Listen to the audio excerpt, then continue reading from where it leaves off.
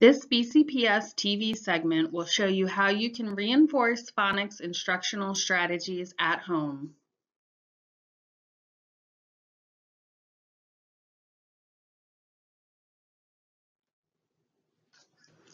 To help reinforce phonics skills at home, you can have your child trace letters or words to help them practice letter formation. Having your child say the letter sound while tracing the letter will help to reinforce sound-symbol correspondence, which is very important to early literacy. For example, saying ah while tracing the letter A. Make learning even more fun by providing your child with colorful markers, pens, pencils, or other supplies.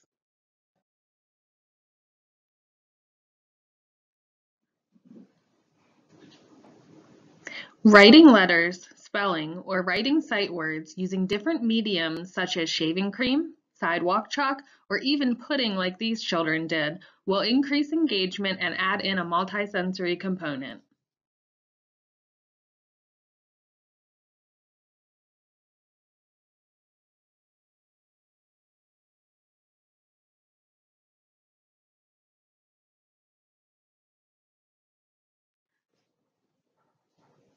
Letter sorts and word sorts are another way to reinforce phonics skills at home.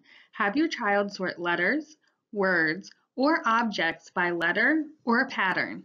Make learning even more fun by going on a scavenger hunt around your house or yard to find items that begin or end with a specific letter sound.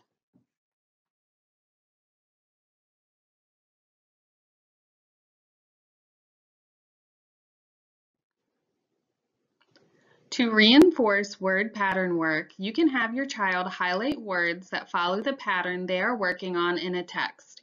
For example, the text on the screen includes words that follow the at and an patterns.